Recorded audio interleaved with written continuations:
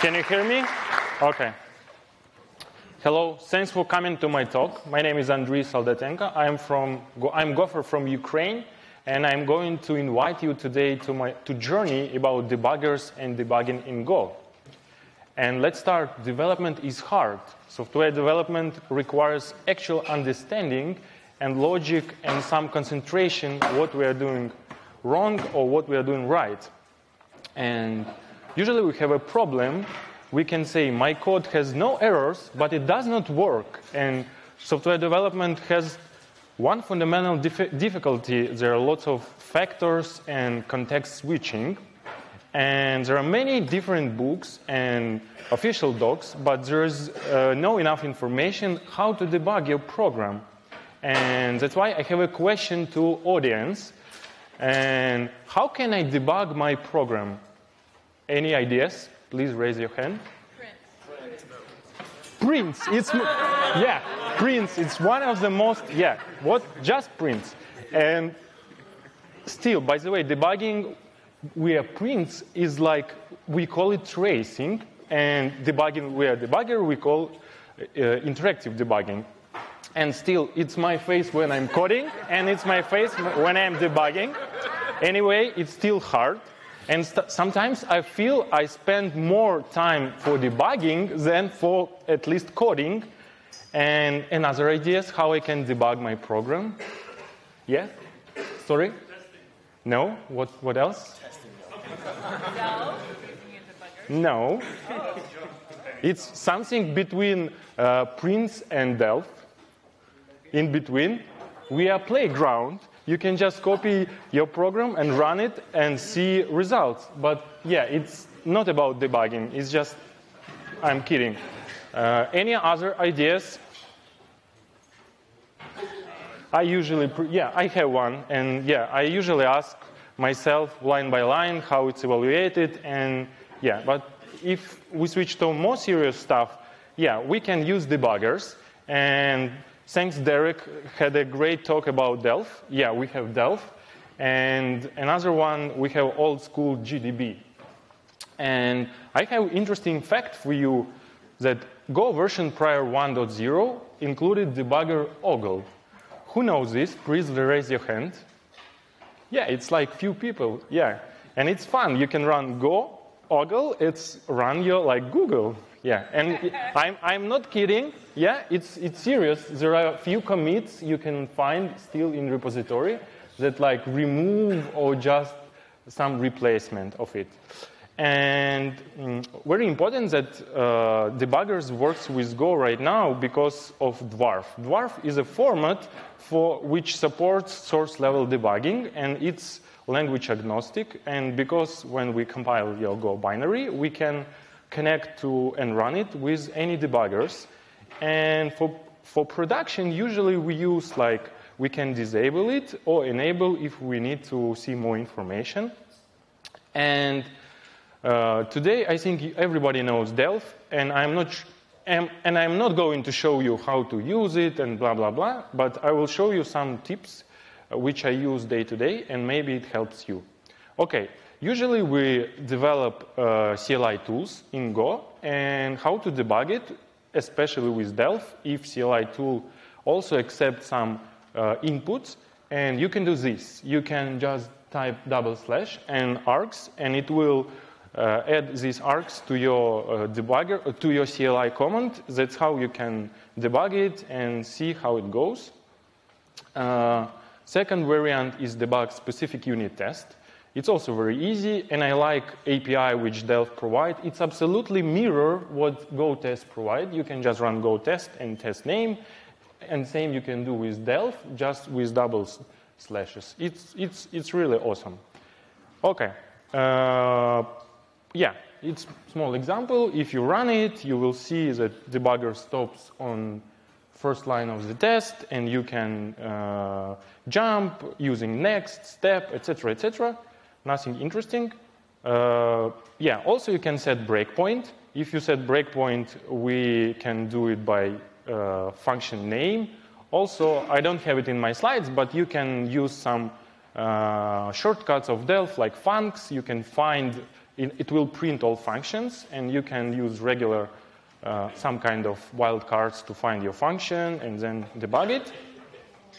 More advanced stuff, it's my favorite one, is conditional breakpoint. Sometimes you debug loops, especially reading huge file or whatever. And if you need to dig into your function, usually you click next, next, next so many times as you have long uh, loop. But you can do this. You can debug your program. And if you set breakpoint with name, then you can, uh, on the next line, you can say conditional breakpoint. And if you run continue, you will stop on the line where this condition true which cool, and no need to click next, next, next so many times. Uh, also, not very common feature, but sometimes it's very useful. You can set variable if you debug your function and you decided, oh, what, what, what happens if uh, parameters will be a equal 10, and you can use set, and it will be 10. Uh, also, there a nice feature like call function, uh, which exists since Go 1.13, probably, not sure 100%, but there are two PRs, one to runtime and one to Delve. Thanks again for team of Delve who did it and for Go. And yeah, you can call a function and you can debug it, but there are lots of limitations of this functionality. Be accurate. Uh, yeah, it's example you can, for instance, if you're in Delve session, you can call uh, your function and you will see, yeah, but it's mistake, it should be not dummy, it should be T. Okay. And also it's supported in GoLand. Uh, yeah, it's by design. It's okay. It's give. Yeah, uh, we call it function. Uh, we call it evaluate. It's just call function, and you can see results. Which, if you prefer visual debuggers like uh, GoLand or VS Code, yeah, it, it will use absolutely same feature. Next, next tip, not about Delve, but also very useful. Sometimes you, we have nice package FMT, and it does lots of uh, great stuff for us, but there are lots of limitation of performance. And if you need pretty print your struct, you can use Go. I'm not sure what the pronunciation of it. And the idea is like you can uh, let me show. Yeah, this is FMT print, and if you need some more details just for debugging, you can uh, print it. I was wondering if we integrate it in Delve, will be very nice. When you run P, it just run this, will be cool. It's idea, probably, yeah. If you have idea, please implement it, I know. Yeah, uh, okay. Uh, next part of my topic is, I will try to show you a small demo. It's about more like every day we use containers, Kubernetes, all this stuff, and sometimes it's tricky to debug it. And usually you have this, you can, like Docker file, very simple with Go. You copy source code, and I have this one with just additionally I install Delve, not for production, and yeah, I build it and run it.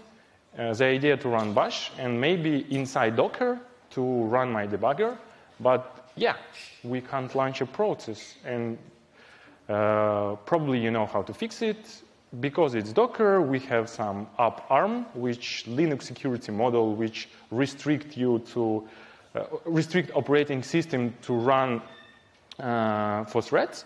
And if you know, uh, Chris yesterday showed a lot about this, but we need to add security capacity, just like enable ptrace and put this one, ARM, and yeah, now you can, inside your Docker, uh, if you run, because we run bash, we, we can run our command, uh, and we can, we can go to debugger, which awesome, because yeah, uh, lots of stuff, uh, not like on your machine, but like on production. Okay, but this is easy one. But what about remote debugging for containers?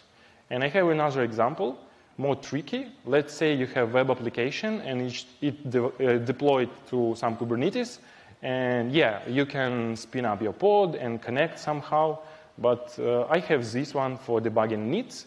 I just add extra line, which run at the same time headless Delve uh, server, and if you know Delphi's client server application, and then I can build it and run it, and I have a demo. I will try to, maybe I can do it. Nice.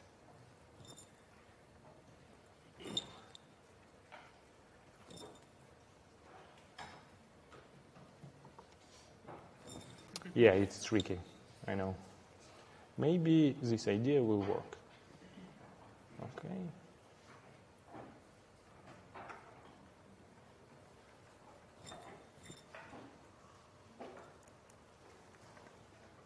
Nice. Okay. And I have like my start SH. We just do what we described. I pre-compiled and pre-built Docker to not waste your time. And from one side, we run this uh, web application on port 8080, and at the same time, we run uh, headless uh, Delve part. And from another side, we can connect to it, which really awesome, and uh, we can set breakpoint on main. And as you can see, we connect, and yeah, we can uh, we can see, and as you can see on my screen, we see source code, but we connect it to container, and we can jump, etc., etc. Uh, yeah, that's the idea. I think you can catch it. Okay, let's continue with slides. Okay. And to show you that it works, you need to do some trick. You need some mapping between source code because uh, we are not showing exact source code from container. We just map, from my understanding, we map uh, dwarf data in Delve and to your source code. Uh, and that's why we need to configure Delve, just to show where your source code locally and where your like application deployed, and it works. Also, there are lots of tips you can configure Delve which usually also not very common for everybody. Like you can see current config list, you can uh, set something, sometimes you can change the length of string, etc., etc. Okay, it's just copy of my demo. Okay, second part is GDB, like one of the old school. You can say, why? We have Delve, but sometimes we have this ability, eh, and I would like to show you what we can do.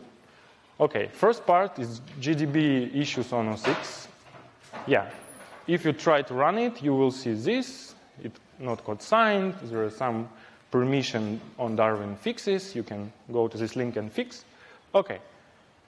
Uh, if you use High Sierra, you need to downgrade your, uh, like, yeah, you, do, you need to downgrade GDB to version 8, and etc. etc and then uh, GDB works, and you can, yeah, you can debug it, and uh, again, it doesn't work. And it, at this time, I feel like, okay, let's return back to Delve, yeah. But now I have more, more and more like time to investigate what's wrong, and okay, let's stop it and see what's what's wrong and think a little bit. And GDB doesn't like since version, not sure which, but Go build uh, compressed dwarf information to reduce size, and GDB doesn't understand it. And that's why you need rebuild with compressed dwarf false. And yeah, it will work. And you can, yeah, and, and you can, yeah. Then you need to uh, source some pretty print, and I will show you one trick. If you go and find run, uh, yeah, let me, yeah. Uh, sorry. Yeah, this one. If, if you have some binary, you can, using strings and grep, you can find that inside each Go binary, we have a Python file, which helps us to do some interactive tips for GDB. And yeah, it's like Python inside every Go binary. Nice, nice. Why not? Yeah, we just bring it. Uh, yeah, and finally it works. You can step It looks not so fancy as Delve, but still you can debug, you can set breakpoints, and if you're familiar with GDB, yeah. Uh, okay. Conclusion about GDB. Why you really need it? Yeah, it does not understand Go programs well. It, it does some, uh, but some situation when I use it, you can uh, check your memory, and uh, the most important, you can debug C Go programs using GDB. And it's really nice if you, as in previous talk, like if you have some C Go, yeah, it can help you to understand the issue and it's tricky to do with Delve. Also, you can, uh, in, in some, I don't know, if you, if you want to learn how Go uh, put some data to memory, you also can just investigate it with, with, GDB. Okay. Uh, okay. Uh, debugging is fun and always useful.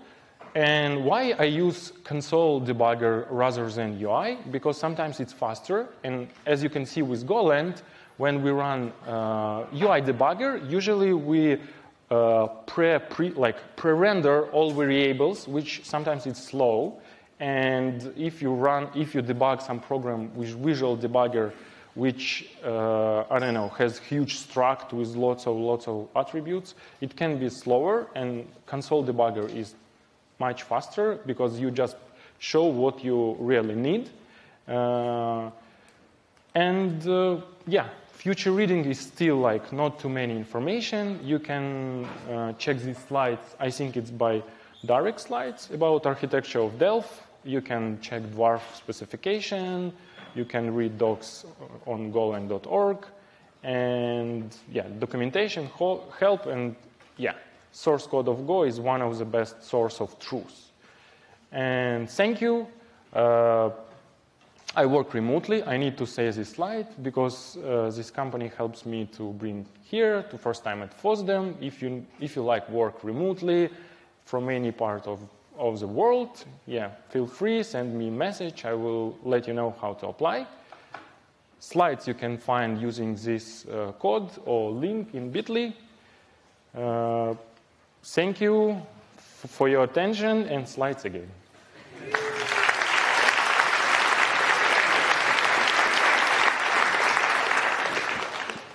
Great. So I'm going to move out for the pictures. Uh, so, any questions? No. Yes. Oh, nice. Uh, what about uh, debugging uh, in case of many Go subroutines?